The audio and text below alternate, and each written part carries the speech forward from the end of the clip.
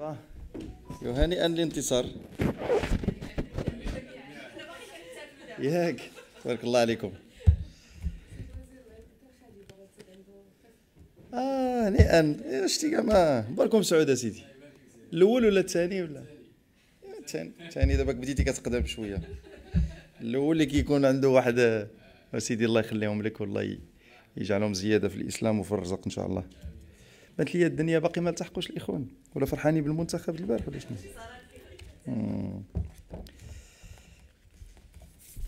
البارح سيدي ما درناش ندوة قلنا نخليوكم تكونسونطراو شي شوية على المنتخب. واخا كاين اللي قال راه بيتاس في قطر. بسم الله الرحمن الرحيم. يلا سيدي كون هادشي دوزتو بعد اللي قلنا كاع ياك؟ لا؟ يا. لا. يلا. سيدي بسم الله الرحمن الرحيم والصلاة والسلام على سيدنا محمد وعلى آله وصحبه أجمعين. حضرات السيدات والسادة سعيد باللقاء معكم في هذه الندوة الصحفية التي تنعقد اليوم الجمعة. آه، وفي البداية طبعا لابد من قراءة وتلاوة نص البلاغ الصحفي. إذا انعقدت الحكومة يومه الخميس 6 جمادى الأولى 1444 فاتح دجنبر 2022 مجلسا للحكومة برئاسة السيد عزيز أخنوش رئيس الحكومة. خصص للتداول في عدد من مشاريع النصوص القانونية ومقترحات تعيين في مناصب عليا طبقا للفصل الثاني والتسعون من الدستور. في مستهل أشغال المجلس عبر السيد رئيس الحكومة عن الفخر والاعتزاز بالفوز المستحق بالفوز المستحق الذي حققه المنتخب الوطني فأسعد قلوب المغاربة. كما أشاد بما أبان عنه الجمهور المغربي من روح وطنية عالية وتعبئة ومساندة معهودة. عقب ذلك أعرب السيد رئيس الحكومة عن فخره واعتزازه بالعمل المتواصل الذي تقوم به الحكومة في سبيل التنزيل السليم لورش تعميم الحماية الاجتماعية على أرض الواقع في احترام تام للأجندة الملكية. وذكر أن اليوم فاتح دجنبر 2022 يتزامن انعقاد المجلس الحكومي مع تاريخ الاستفادة التلقائية لأربعة ملايين أسرة خاضعة سابقا لنظام المساعدة الطبية رميد من نظام التأمين الإجباري عن المرض أمو. وبموجب هذا النظام تتحمل الدولة مصاريف اشتراك هذه الفئات في نظام التأمين الإجباري الأساسي عن المرض ما دامت في حاجة. وبفضل هذا النظام سيستفيد هؤلاء من نفس الخدمات والامتيازات التي كانوا يتوفرون عليها في المستشفيات العمومية كما سيتم تعويضهم بموجب هذا النظام عن جزء كبير من مصاريف الدواء والاستشفاء أو مصاريف العيادات الخاصة وذلك وفقا للنسب المعمول بها. وأكد السيد رئيس الحكومة على أن الحكومة بالموازاة مع ذلك وتنفيذا للتوجيهات الملكية السامية عملت منذ تنصيبها على وضع رؤية متكاملة لإصلاح المنظومة الصحية ترتكز على أربع دعامات أساسية تتجلى في اعتماد حكامة جيدة تهم تقوية آليات. عفوا. تهم تقوية آليات التقنين وضبط عمل الفاعلين وتعزيز الحكامة الاستشفائية والتخطيط الترابي للعرض الصحي. ويشهد اليوم وضع أولى لبنات هذا الورش من خلال تدارس أربعة مشاريع قوانين وتتمين الموارد البشرية وإصلاح التكوين. ومن ثم تدارس مشروع القانون المتعلق بالضمانات الأساسية الممنوحة للموارد البشرية بالوظيفة الصحية والتي تهدف إلى تشجيع هذه الموارد البشرية على العمل في أرض الوطن وتأهيل العرض الصحي عبر تيسير الولوج للخدمات الطبية والرفع من جودتها والتوزيع العادل للخدمات الاستشفائية عبر التراب الوطني. ومن ثم أعطت وزارة الصحة ورش تأهيل ما يقارب 1400 مركز صحي أولي كما تعتزم إحداث مستشفى جامعي بكل جهة. وأخيرا رقمنة المنظومة الصحية لضبط وتتبع مسارات علاج المواطنين في مختلف مراحلها. وفي ختام كلمته أكد السيد رئيس الحكومة على عزم الحكومة إنجاز ورش إصلاح المنظومة الصحية الوطنية استرشادا بالتوجيهات الملكية السديدة تكريسا لركائز الدولة الاجتماعية ولمتطلبات الكرامة من خلال رفع مظاهر الإقصاء والتهميش وتحقيق العدالة المجالية في الولوج للخدمات الصحية والاستشفائية لجميع المواطنين على قدم المساواة. بعد ذلك تداول مجلس الحكومة في خمسة مشاريع قوانين قدمها السيد خالد الطلب وزير الصحة والحماية الاجتماعية ويتعلق الأمر بكل من. مشروع القانون رقم 07 22 يتعلق بإحداث الهيئة العليا للصحة والذي يندرج في إطار تنفيذ التوجيهات الملكية السامية الداعية إلى إعادة النظر في المنظومة الصحية وتفعيلا لدعامات إصلاح المنظومة الصحية المعلن عنها. لا سيما الدعامة المتعلقة بالحكامة وانسجاما مع ما نصت عليه المادة 32 من القانون الإطار رقم 0622 المتعلق بالمنظومة الصحية الوطنية. ويهدف هذا المشروع إلى إحداث الهيئة العليا للصحة باعتبارها شخصا اعتباريا من أشخاص القانون العام تساهم في ضمان استمرارية عمل الدولة في المجال الصحي وتتولى على الخصوص مهمة التأطير التقني للتأمين الإجباري الأساسي عن المرض وتقييم جودة خدمات المؤسسات الصحية بالقطاعين العام والخاص وكذا إبداء الرأي في السياسات العمومية في ميدان الصحة. ويتضمن هذا المشروع مقتضيات تحدد الاختصاصات والأدوار المنوطة بالهيئة العليا للصحة لا سيما التأطير التقني للتأمين الإجباري الأساسي عن المرض والسهر على إعداد الوسائل الكفيلة بضبط منظومته وتقييم جودة الخدمات المقدمة.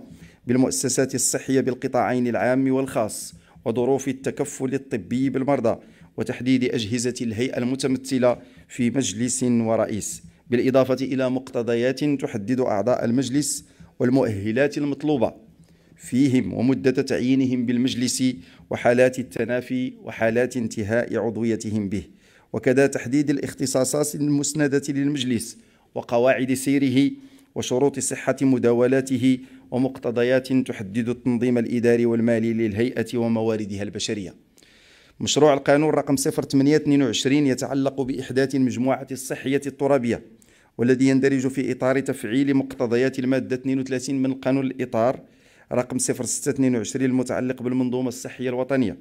ويأتي هذا المشروع لتجاوز مختلف الإكراهات والمعوقات التي تشوب حاليا عرض العلاجات على المستوى, المستوى الترابي وإصلاح المنظومة الصحية الوطنية في شقها المتعلق بالحكامة استحضارا للاختيارات الاستراتيجية التي تضمنها التقرير العام حول النموذج النموي لا سيما الاقتراح المتعلق بدمج المركز الاستشفائي الجامعي وجميع الوحدات الاستشفائية الجهوية في مؤسسة عمومية واحدة مستقلة تتكلف بالعلاجات الاستشفائية.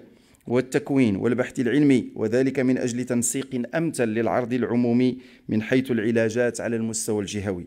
ويتضمن هذا المشروع أحكاما تنص على إحداث مجموعة صحية ترابية بكل جهة مع الإحالة على نص تنظيمي لتحديد مقر كل مجموعة والمؤسسات الصحية المكونة لها وتحديد المهام المنوطة بالمجموعات الصحية الترابية داخل مجالها الترابي مع تقسيم المهام المنوطة بكل مجموعة حسب ستة مجالات أساسية وهي مجال عرض العلاجات مجال الصحة العامة مجال العلاجات مجال التكوين مجال البحث والخبرة والابتكار ثم المجال الإداري مع تحديد الأجهزة أجهزة الإدارة والتسيير المتمثلة في مجلس الإدارة والمدير العام للمجموعة. وتبيان الاختصاصات المسندة لكل منهما بالإضافة إلى مقتضيات تحدد التنظيم المالي للمجموعات الصحية ومواردها البشرية. مشروع القانون رقم 0922 يتعلق بالضمانات الأساسية الممنوحة للموارد البشرية بالوظيفة الصحية. والذي يندرج في إطار تفعيل مقتضيات المادة 23 من القانون الإطار رقم 0622 المتعلق بالمنظومة الصحية الوطنية. ويأتي هذا المشروع أخذا بعين الاعتبار خصوصيات القطاع العمومي الصحي والتحديات التي يواجهها وتنزيلا لدعامات إصلاح المنظومة الصحية المعلن عنها لا سيما الدعامة المتعلقة بتثمين الموارد البشرية. ويتضمن هذا المشروع مقتضيات تحدد الموارد البشرية الخاضعة لمقتضياته في تلك العاملة بالمجموعات الصحية الترابية المحدثة بموجب القانون رقم 0822 مع تقوية ضمانات الحماية القانونية للموظفين واعتبار كل تهديد أو اعتداء عليهم بمثابة تهديد واعتداء على المرفق الصحي وإضرار مباشر به مع ترسيخ إلزامية تنظيم دورات وبرامج, وبرامج للتكوين المستمر طوال المسار المهني. وإلزامية المشاركة فيها بالإضافة إلى وضع نظام يسمح لبعض فئات مهني الصحة في إطار الشراكة بين القطاعين العام والخاص بإمكانية ممارسة بعض المهام في القطاع الخاص مع اعتماد نظام فعال للأجور محفز لمهني الصحة. مشروع القانون رقم 1022 يتعلق بإحداث الوكالة المغربية للأدوية والمنتجات الصحية والذي يندرج في إطار تفعيل مقتضيات المادة 32 من القانون الإطار رقم 0622 المتعلق بالمنظومة الصحية الوطنية. ويأتي هذا المشروع لتمكين البنية الإدارية التي تشرف على هذا القطاع من أداء مهامها بمهنية عالية ومن مواكبة التطورات الوطنية والدولية وتنزيلا لدعامة إصلاح المنظومة الصحية المعلن عنها لا سيما الدعامة المتعلقة بالحكامة. ويتضمن هذا المشروع مقتضيات تحدد المهام والصلاحيات والأدوار المنوطة بالوكالة لا سيما فيما يتعلق بتنفيذ التوجيهات الاستراتيجية لسياسة الدولة الرامية إلى ضمان السياسة الدوائية وتوافر الأدوية والمنتجات الصحية وسلامتها وجودتها مع تحديد أجهزة الإدارة والتسيير المتمثلة في مجلس إدارة ومدير الوكالة مع تبيان الاختصاصات المسندة لكل منهما. والتنصيص على قواعد سير مجلس الإدارة وشروط صحة مداولاته وتحديد التنظيم الإداري والمالي للوكالة ومواردها البشرية بالإضافة إلى إدراج مقتضيات انتقالية وختامية تتعلق أساسا بكيفية إدراج مقتضيات مقتضيات انتقالية وختامية تتعلق بكيفية إلحاق موظفي مديرية الأدوية والصيدلة بالوكالة. مشروع القانون رقم 1122 يتعلق بإحداث الوكالة المغربية للدم ومشتقاته والذي يندرج في إطار تفعيل مقتضيات المادة 32 من القانون الإطار رقم 0622 المتعلق بالمنظومة الصحية الوطنية. ويأتي هذا المشروع لتجاوز الإشكالات والإكراهات التي يعرفها المركز الوطني لتحقن الدم ومبحث الدم وجميع مراكز تحقن الدم الجهوية. والتي تؤثر سلبا على تدبير هذا المجال الحيوي ومن أجل مواكبة التطورات الوطنية والدولية ويهدف هذا المشروع إلى إحداث الوكالة المغربية للدم ومشتقاته وهي مؤسسة عمومية تتمتع بالشخصية الاعتبارية والاستقلال المالي تحل محل المركز الوطني لتحاقن الدم ومبحث الدم وجميع مراكز تحاقن الدم الجهوية. ويتضمن هذا المشروع مقتضيات تحدد المهام والصلاحيات والأدوار المنوطة بالوكالة باعتبارها المؤسسة المكلفة بتنفيذ التوجهات الاستراتيجية لسياسة الدولة الرامية إلى ضمان تنمية مخزون من الدم البشري يلبي الحاجيات الوطنية وتوافر جميع مشتقات الدم في كل الظروف وضمان سلامتها وجودتها مع تحديد أجهزة الإدارة والتسيير المتمثلة في مجلس الإدارة ومدير للوكالة مع تبيان الاختصاصات المسندة لكل منهما. والتنصيص على قواعد سير مجلس الإدارة وشروط صحة مداولاته مع تحديد التنظيم الإداري والمالي للوكالة ومواردها البشرية بالإضافة إلى التنصيص على مقتضيات انتقالية وختامية تتعلق أساسا بكيفية النقل التلقائي لموظفي المركز الوطني لتحاقن الدم ومبحث الدم والمراكز الجهوية لتحاقن الدم وبنوك الدم بالوكالة. وستعمل الحكومة على تنزيل مضامين هذه القوانين وفق مقاربة تدريجية تتوخى الانفتاح والتشاور مع كافة المتدخلين وفي احترام تام لمبدأ استمرارية المرفق العام. بعد ذلك تداول مجلس حكومة وصادق على مشروع المرسوم رقم جوج 22 964 بتعيين ممثلي الدولة في مجلس إدارة الوكالة الوطنية للتدبير الاستراتيجي لمساهمة الدولة وتتبع نجاعة أداء المؤسسات والمقاولات العمومية قدمته السيدة نادية فتاح وزيرة الاقتصاد والمالية. ويأتي هذا المشروع لتطبيق القانون رقم 82 20 القاضي بإحداث الوكالة الوطنية للتدبير الاستراتيجي لمساهمات الدولة وتتبع نجاعات أداء المؤسسات والمقاولات العمومية. ولا سيما المادة 13 منه والتي تنص على أن مجلس إدارة الوكالة الوطنية يتألف علاوة على الرئيس وثلاثة أعضاء مستقلين من خمسة ممثلين من الدولة يعينون بنص تنظيمي. ويهدف هذا المشروع إلى تعيين ممثلي الدولة الخمسة في مجلس إدارة هذه الوكالة ويتعلق الأمر بكل من السلطة الحكومية المكلفة بالاقتصاد والمالية الخزينة المالية والخارجية الداخلية الجماعات الترابية الانتقال الطاقي ممثلة بالكاتب العام التجهيز والماء ممثل بالكاتب العام والفلاحة ممثل بالكاتب العام. واختتم مجلس الحكومة أشغاله. بالتداول والمصادقة على مقترحات تعيين في مناصب عليا طبقا للفصل الثاني والتسعون من الدستور فتم على مستوى وزارة العدل تعيين السيد عبد الرحيم مياد كاتبا عاما السيدة وعلى مستوى وزارة التجهيز والماء تعيين السيدة نرجس العمارتي سفيان مديرة لوكالة الحوض المائي لملوية وعلى مستوى وزارة إعداد التراب الوطني والتعمير والإسكان وسياسة المدينة قطاع الإسكان وسياسة المدينة تعيين السيدة صفاء بمرح مديرة للموارد البشرية والشؤون المالية والعامة وعلى مستوى وزارة الفلاحة والصيد البحري والتنمية القروية والمياه والغابات تعيين السيد جمال ميموني مديرا للمكتب الوطني للاستثمار الفلاحي للتافيلالت وعلى مستوى وزارة الصناعة والتجارة تعيين السيد أكرم علاوي مديرا للبنيات التحتية الصناعية والتجارية والتكنولوجيا والبحث والتطوير وعلى مستوى وزارة التعليم العالي والبحث العلمي والابتكار تعيين السيد مصطفى أبو معروف رئيسا لجامعة السلطان مولاي سليمان ببني ملال. وعلى مستوى وزارة الانتقال الطاقي والتنمية المستدامة تعيين السيد عمر أسعدي مديرا للمدرسة الوطنية العليا للمعادن بالرباط. إذا كان هذا هو نص البلاغ. إذا نشرع في أخذ الأسئلة. سي شكير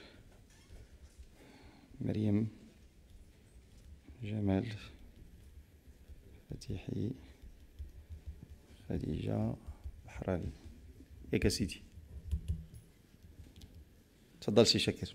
أه، سيد الوزير اولا أمس تأجل اللقاء مع الصحافة. تماما.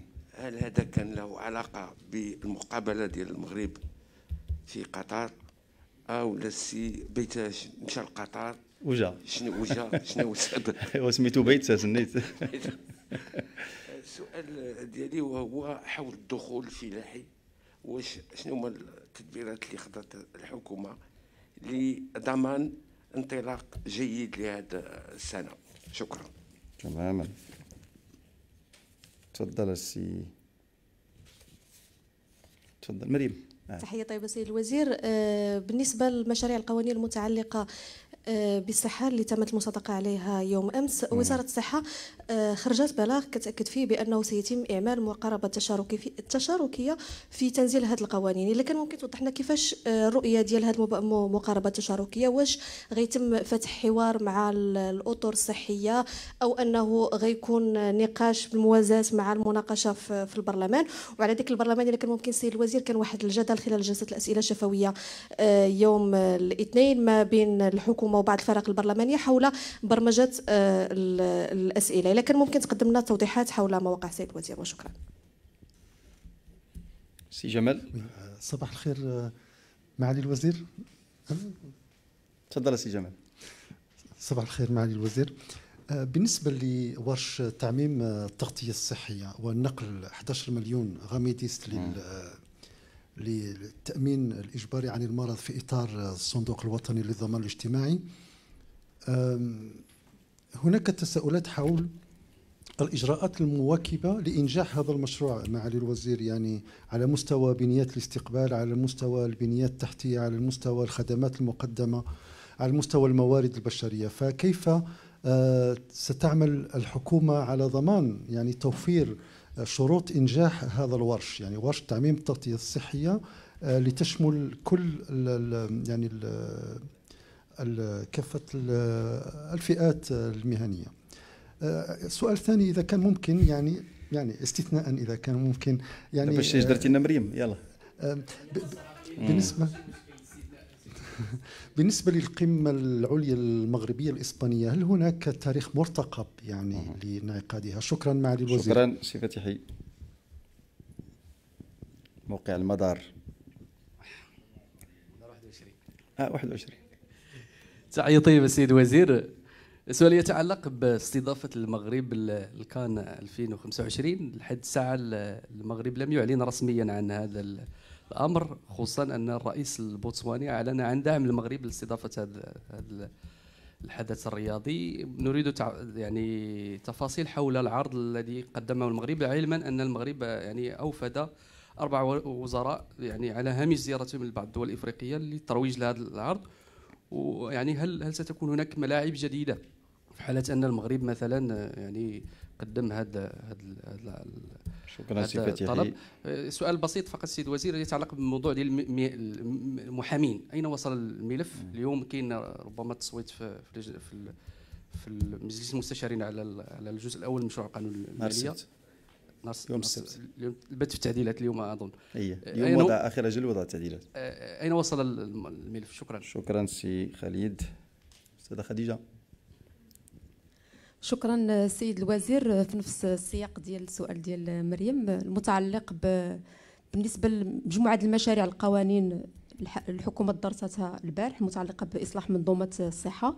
عندي السؤال بالضبط في ما يتعلق بمشروع القانون المتعلق بالضمانات الأساسية المنوحه للموارد البشرية. كاين إحدى المقتضيات اللي كتفتح المجال أمام التشغيل بالعقود. واش ما غاديش يعيد تجربة ديال الأساتذة؟ وشكرا. شكرا. السيد البحراني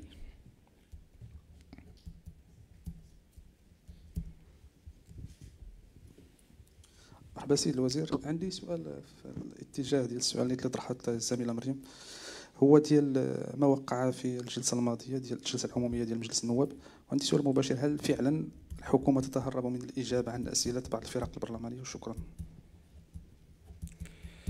شكرا.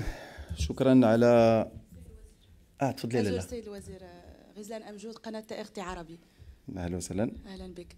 آه إذا كان بالإمكان يعني تقديم توضيحات حول رفع المغرب بالاعتمادات المالية في برنامج أو البرنامج الوطني لمياه الري والشرب. شكرا. شكرا. شكرا على اولا شكرا على تغطية هذه الندوة الصحفية وشكرا على حضوركم. طبعا في كل أسبوع أسبوع. يعني أتشرف شخصيا بأن ألتقي معكم أن نتناقش وأن أحاول أن أجيبكم قدر المستطاع حول الأسئلة التي تتفضلون مشكورين بطرحها والتي في الحقيقة هي نافذة مهمة جدا للتواصل مع المواطنين. إذا سمحتي لي أولا سوف أبدأ بالسؤال ديالك سي شاكير أه البارح انتهى مجلس الحكومة حوالي الثانية بعد الزوال. فكان من الصعب تنظيم هذه الندوة الصحفية وحنا نعرف البارح كيف كان المواطنون المغاربة. كان الجميع يترقب وينتظر المباراة المهمة والحاسمة. فما بغيناش نعاود نتقلوا عليكم ونتقلوا على المواطنين. والعبد الضعيف آه، للأسف ما تفرجش في في المباراة ديال البارح في قطر تفرجت فيها غير في الدار. بحالي بحالكم كاملين. ولكن آه، هذا الأداء المتميز اللي يعمل المنتخب المغربي.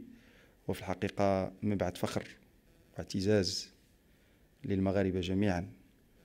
وفي الحقيقة رفعوا رفعوا الرؤوس ديالنا عاليا وشامخا.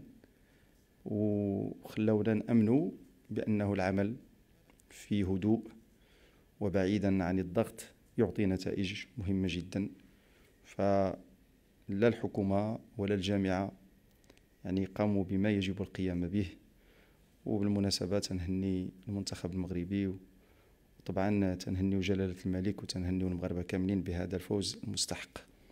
البارح واحد ديسمبر 2022 هو تاريخ مهم جدا.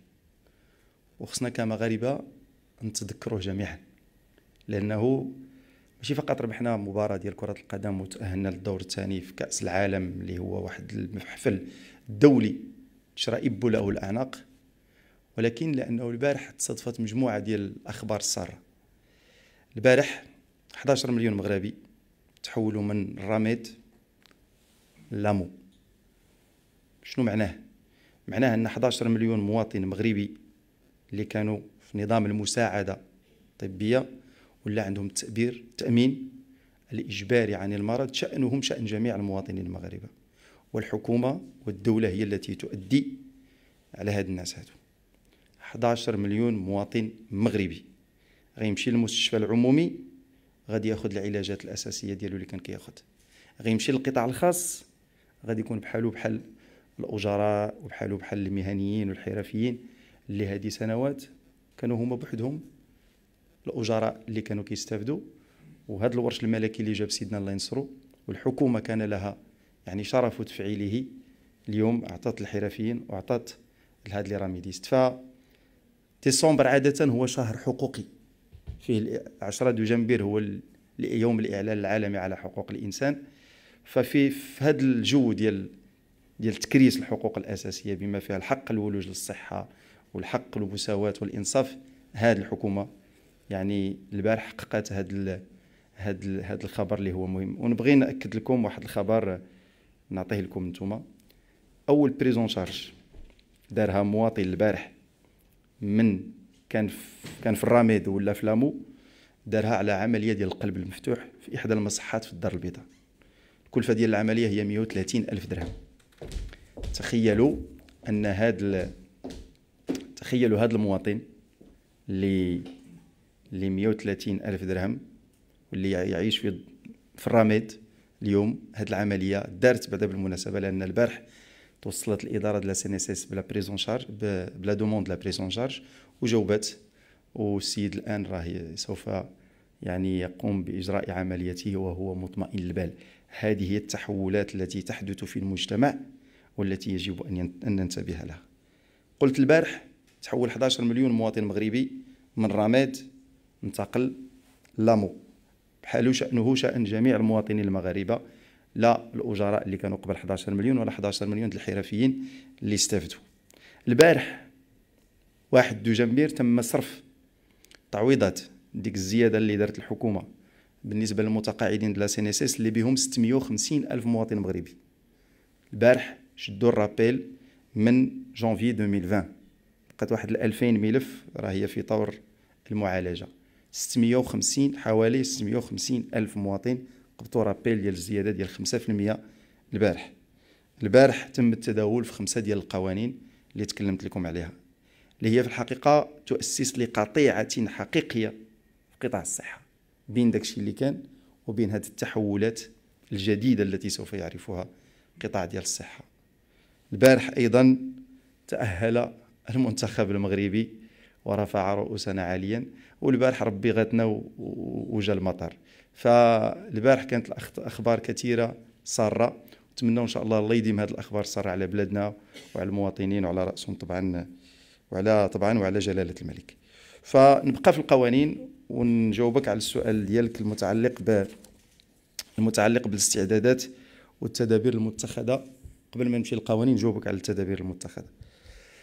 هاد السنة ديال 2000 وهاد هاد الموسم الفلاحي الجديد كيجي في واحد السياق اللي معروف صعب على مستوى سنتين متتاليتين ديال تأخر الأمطار وواحد الصعوبات اللي خلات الحكومة أنها دير واحد البرنامج بتوجيهات ملكيه سامية اللي خصت له 10 المليار ديال الدرهم اللي كان فيها آه، الدعم ديال الأعلاف وكان فيها جزء ديال توفير الماء ديال سميتو الماشيه وكان فيها آه، على سنة ديال ديال الجفاف وكان فيها أيضا واحد المواكبة بالنسبة بالنسبة للقروض بناء على هذه الظروف اللي كلها صعبة وبناء أيضا على واحد الارتفاع كبير على مستوى الأسعار على الصعيد الدولي خاصة مجموعة من المدخلات. الوزارة والحكومة بقات محافظة على الأسعار ديال المدخلات الوطنية. هنا كنتكلم على الفوسفات وكنتكلم على البذور المنتقات. بقات في نفس الأسعار ولكن كانت هناك يعني دعم كبير.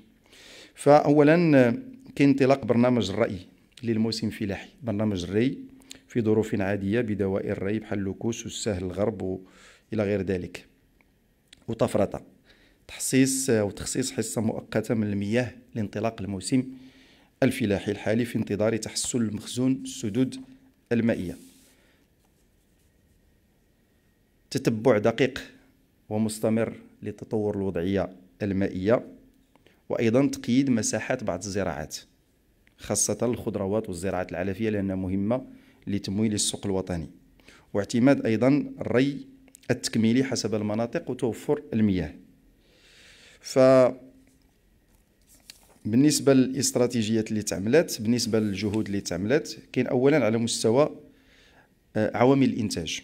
تم اتخاذ مجموعة من التدابير لتأمين موفورات كافية لتغطية حاجيات الفلاحين وتقريبها منهم. بالنسبة للبذور الحبوب الخريفية تم تأمين 1.1 مليون قنطار من الحبوب المنتقات من أصناف ملائمة وذات جودة عالية. تم أيضا اعتماد شبكة التوزيع على مستوى مناطق المغرب اللي فيها حوالي 400 نقطة منها تقريبا 500 نقطة تابعة للدولة. من أجل دعم الفلاحين تم تحديد الأسعار ديال هاد البذور. 210 درهم بالنسبة للقمح و 290 بالنسبة لي بالنسبة للقمح اللين والشعير و290 بالنسبة للقمح الصلب. أيضا على مستوى الأسمدة سوف يتم تزويد السوق الوطنية بحوالي 650 ألف طن من الأسمدة. تقريبا الطلب هو واحد 500 ألف طن. والسعر طبعا الأسعار دائما مدعمة وتبقى في نفس المستوى. بالنسبة للزراعات الخريفية الزراعات الخريفية مهمة. فتمت برمجة مساحة إجمالية تناهز 4.5 مليون هكتار منها 6 مسقية ويمثل منها القمح اللين حوالي 35% كاين برنامج إكتار اللي تكلمت عليه نفس الشيء بالنسبة للزرع المباشر اللي معروف بأنه ما كيتطلبش واحد الإمكانيات مائية كبيرة جدا. ف على مستوى التأمين الفلاحي تم يعني توسيع المساحات باش يشاركوا ويساهموا يعني يستافدوا منها الفلاحة. بحوالي المؤمنة للحبوب القطاني بحوالي 200 ألف هكتار لبلوغ تأمين 1.1 مليون هكتار في إطار التامين المتعدد المخاطر بإضافة إلى تأمين 50 ألف هكتار من الأشجار المثمرة من بعض المخاطر بحال الرياح إلى غير ذلك. صندوق التنمية الفلاحية مازال كيستمر في إعطاء المساعدات للفلاحين مواصلة الدعم المخصص للجهازات متعلقة بالسقي على مسافة مساحة 350 ألف هكتار حتى لسنة 2027 إرساء إعانات جديدة خاصة بالنسبة للشباب في أراضي الجموع مراجعة الإعانات وفق العقود البرنامج. وأيضا من المرتقب أن تصل مجموع هذه الإعانات كلها 3.7 مليار درهم من أجل الاستثمار اجمالي يناهز 7.4 مليار درهم. على مستوى يعني المواكبة والصادرات إلى غير ذلك هناك تنسيق ويقظة والوقوف أيضا على كل يعني ما يتعلق بالتمويل البنكي لفائدة الفلاحين. الآن بخصوص هاد القوانين هادو اللي تمت المصادقة عليها البارح. ماشي تمت المصادقة عليها عفوا تم التداول فيها. التي تم التداول فيها آه نصدقوا عليها إن شاء الله في الأسبوع المقبل. التي تم التداول فيها تهم إحداث الهيئة العليا للصحة. هذه الهيئة العليا للصحة هي اللي غتكلف بالتأطير التقني لهذا البرنامج لهذه المنظومة ديال l'AMO يعني l'assurance maladie obligatoire وأيضا غادي تدلي الرأي ديالها في مجموعة من بحال تعمل واحد النوع ديال التقييم ديال كل ما يتعلق بالسياسات العمومية لقطاع الصحة. المجموعات الصحية الجديدة واللي غتكون على مستوى مختلف الجهات هذه الآن هي اللي غادي تاخذ تدبير الموارد البشرية وتدبير المستشفيات ومراكز الصحة الموجودة داخل الجهة. غيكون طبعا مركز استشفائي جامعي معه كلية وفي نفس الوقت غادي يكونوا المدارس الأخرى المكلفة بتكوين الممرضين والتقنيين. وهذه الهيئة الترابية اللي غتكون مثلا على مستوى جهات القلميم ولا العيون هي التي سوف تنتج العلاجات وغتدبر من أبعد نقطة إلى أن يصل هذا المريض ولا هذا السيد اللي كيطلب العلاج إلى المركز الجهوي أو الليلة كان الحالة ديالو تقتضي فقط أن يتم التكفل به اقليميا. وبدات الحكومة كتشتغل على المراكز اللي هي المراكز الصحية 1400 مركز صحي على مستوى سنتين 2022 2023 غتشوفوا في بعض المناطق بأن المراكز الصحية ولات عندها يعني واحد الفضاءات الاستقبال مختلفة ولات يعني تشبه إلى حد كثير يعني المؤسسات الاستشفائية الخاصة. فهذه المجموعات الصحية هذه هي اللي غتدبر الموارد البشرية ديالها تدبر المستشفيات ديالها وتدبر العرض الصحي ديالها وتدبر حتى التكوين والبحث العلمي حسب خصوصية كل جهة والأمراض اللي ما راه معروفة فيها. القانون أيضا المتعلق بالوظيفة الصحية واللي جا في السؤال ديال الأستاذة. اولا هذا الشيء كله تعمل في إطار واحد الاستناد اولا إلى الخطب الملكية النموذج التنموي الجديد البرنامج الحكومي وأيضا الرؤية الاستراتيجية ديال قطاع الصحة. والهدف هو كيفاش أن هذه المنظومة الصحية يكون عندها واحد الإمكانية تستجب للطلب ديال المواطنين لأنه ما الذي سيقع الآن مع بداية السنة المقبلة الذي سيقع هو أن جميع المواطنين المغاربة عندهم التامين الصحي اللي موظف أو لا أجير عنده التامين الصحي اللي حرفي عنده التامين الصحي واللي رميد راه عنده التأمين الصحي وتخلص عليه الدولة. فهادو كلهم اليوم سوف يتحولون إلى زبناء. والزبون يبحث عن الخدمة ويبحث عن العرض الصحي الذي يلائمه.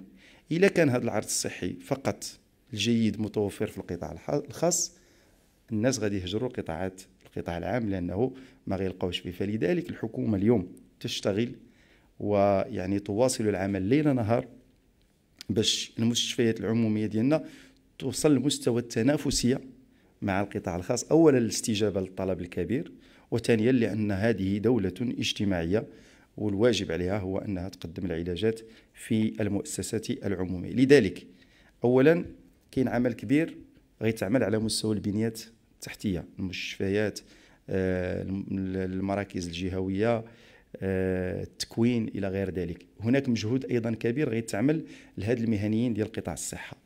بمعنى أن هاد الموظفين الآن وهاد الأطباء وهذا مجهود عملته الحكومة عبر الرفع اولا من التعويضات ديالهم وعبر إقرار مجموعة من التحفيزات وهناك تحفيزات جديدة اللي غادي تكون في هذه القوانين.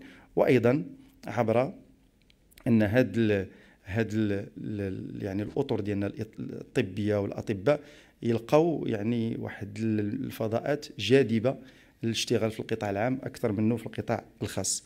وكالة الأدوية ووكاله الدم أيضا عندها يعني مجموعة من من من المهام اللي كتقاطع.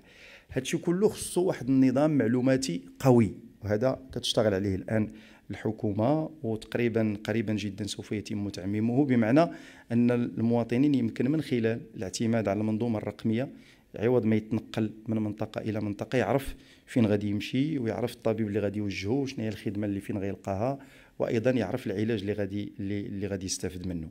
فهاد هاد هاد التغييرات كلها اللي الآن يتم إدخالها القطاع الصحة الهدف منها طبعا هو أنه نتوفر على منظومة صحية قوية جدا.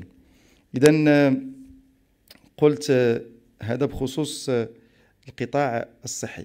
بالنسبة للموضوع اللي تكرر ولا السؤال اللي تكرر بخصوص الجلسة ديال مجلس النواب آه، يوم الاثنين الماضي اولا الإدعاء بأن الحكومة تتدخل في برمجة الأسئلة باطل. ومنع منع الوزير المكلف بالعلاقة مع البرلمان لتناول الكلمة في البرلمان تعسف. لأنه البرلمان هو فضاء للنقاش وللتداول وللتدافع ولإبراز وجهات النظر. أنا كنتسائل إلا كان الوزير المكلف بالعلاقة مع البرلمان لا يحق له الكلام شكون اللي خصو يتكلم؟ ولاش كيحضر؟ علاش كيمشي للبرلمان الوزير المكلف بالعلاقه لماذا يجلس في البرلمان منذ بداية الجلسة إلى نهايتها؟ لأنه هو المسؤول عن تدبير العلاقة ما بين البرلمان والحكومة. وإلا طرح شي نائب شي سؤال. الوزير يجب أن يقدم التوضيحات. فما فائدة أن يحضر الوزير ويسمع؟ وفي نهاية المطاف يتقال له لا حق لك في الكلام. هذا تعسف غير مقبول. ثم جميع القرارات ديال المحكمة الدستورية اللي كتنظم واللي عندها السلطة على مراقبة القوانين بما فيها القانون التنظيمي اللي هو النظام الداخلي لمجلس النواب تتستند على واحد المعطى أساسي جدا اللي هو التوازن والتعاون ما بين السلطتين. ولا انتبهت في جميع المبادرات الرقابية يتكلم النائب يجب أن يتكلم الوزير ليجيب. السؤال يليه تعقيب. والتعقيب يليه يليه تعقيب آخر. نفس الشيء بالنسبة للمداخلات. فمني كنجيو للجلسة العامة. ثم الفصل على ما أعتقد 200 و62 من النظام الداخلي لمجلس النواب. صريح وواضح شكون اللي كيبرمج الأسئلة؟ الذي يبرمج الأسئلة هو مكتب مجلس النواب. والذي يبرمج القطاعات الشهرية التي يتم استدعاؤها للبرلمان هو مكتب مجلس النواب. عبر من قاعدة؟ عبر قاعدة واضحة وبسيطة. إذا كان السؤال عاديا خصو 20 يوم. إذا كان السؤال آنيا يطلب إذن الحكومة في ظرف 20 يوم. إلى فات 20 يوم يتحول السؤال الآني إلى عادي وتصبح الحكومة مجبرة على أن تأتي إلى البرلمان وأن تجيب على السؤال. هذا هو هذا هو الدستور وهذا هو النظام الداخلي. فالبرلمان هو الذي يبرمج هو الذي يحدد جدول الأعمال هو الذي يقرر من سيستدعي ومن سيحضر ومن لن يحضر والوزراء الذين مطالبين بالحضور واجب أن يحضروا. فقط في الحالات التي منصوص عليها أيضا في النظام أنهم يتغيبوا إذا كان هناك يعني بعض الحالات اللي محددة حسب فالذي وقع هو أن السؤال الأسئلة التي طرحها السيدات والسادة النواب من المعارضة برمجت في جدول الأعمال. والوزيرة المعنية التي طالها الجدل كانت حاضرة في مجلس النواب وأجابت على هذه الأسئلة. فهنا إذا كان غير هذا هو المشكل. ونخليه الوزير المكلف بالعلاقة مع البرلمان يتكلم. لكن أن يقف الوزير لكي يتناول الكلمة ويتم منعه بالصراخ فاسمحوا لي. اسمحوا لي نقول لكم بأن هذا تعسف. ثم هل يحق للوزير أن يتكلم أو لا يتكلم؟ الوزير النظام الداخلي لمجلس النواب ساكت. ما تيقول لا يحق له ولا لا يحق له. والأصل حينما لا يكون المنع شنو كيكون؟ يكون. وبما أن القرارات المحكمة الدستورية كتتكلم على التوازن والتعاون ما بين السلطتين فكيفاش غيتم التعاون ونحن نسمع صوتا واحدا ولا نسمع الصوت الآخر؟ فبالنسبه ل... بالنسبة لهذا الشيء السؤال المرتبط بالإعلان على كأس العالم هذا شأن الجامعة آه، وشأن يعني. أنا أعتقد بأنه آه، الجامعة ومعها القطاع الوصي سيقدمون أجوبة أكثر حول كل المعطيات المرتبطة بهذا الملف هذه الساعة نتمنى المنتخب المغربي التوفيق ومزيد من من النتائج الإيجابية بالنسبة للتوضيحات حول البرنامج الوطني للماء والري لازم نتفقوا لازم نتفقوا بأن هذه الحكومة بذلت مجهودا كبيرا لتوفير الماء الصالح للشرب لأن باش نكونوا واضحين بدا بلا ما نسودوا الوضع بزاف راه الوضعية صعبة جدا. والحكومة لقات واحد الوضع اللي يحتاج إلى تدخل وتسريع لمجموعه من البرامج. تم إطلاق مجموعة ديال يعني المحطات الجديدة للتحليه الدار البيضاء إن شاء الله هي قريبة اللي هي اللي مهمة 300 مليون متر كوب يعني سنويا. تم إطلاق المشروع المهم اللي غادي يتم فيه نقل الماء من حوض ملوية إلى الحوض ديال ابير قرق بكلفة ديال 6 مليار ديال الدرهم الأشغال الآن منطلقة. هذا ورش كنا كنتكلموا عليه هذه سنوات لأن هذا هو l'autoroute de l'eau اللي كنا كنتكلموا كنسمعوا آه، l'autoroute de l'eau l'autoroute de l'eau c'est l'autoroute de l'eau هذا هذه الحكومة تنجز هذا المشروع. نتمنى إن شاء الله ينتهي في منتصف هذه السنة. غادي نتمكنوا من خلاله أنه نقلوا كمية مائية مهمة جدا. كانت كتمشي للبحر. سوف يتم الاستفادة منها في المحورين بجوج ديال الرباط ويمكن وممكن إن شاء الله حتى ديال الدار البيضاء.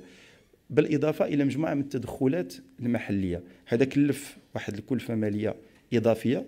برمجتها الحكومة في هذه الميزانية الجديدة. وطبعا الكلفة اللي كتعرفها هي 150 مليار درهم في افق 2030 آه، على ما أعتقد ولا 27 فهاد هذا الورش أيضا هو ورش اللي اللي اللي عانت منه بلادنا والحكومة الآن آه، يعني تشتغل ب ب يعني بسرعة كبيرة باش إن شاء الله ما توقفش تمديد هاد هاد المدن والقرى بالماء الصالح للشرب وأيضا نقدروا نوفروا الماء اللي غادي نحتاجوه للفلاحة وللقطاعات الأخرى. يمكن جاوبت على كل شيء؟ جاوبت عليهم. غير ما مرة. غير ما مرة. هناك وجاوبت عليهم شحال من مرة. اللجنه التقنيه الآن راه كتشتغل إن شاء الله. نتمنى تجتمع وتشتغل تشتغل إن شاء الله ونلقاو الحلول في المستقبل. شكرا لكم.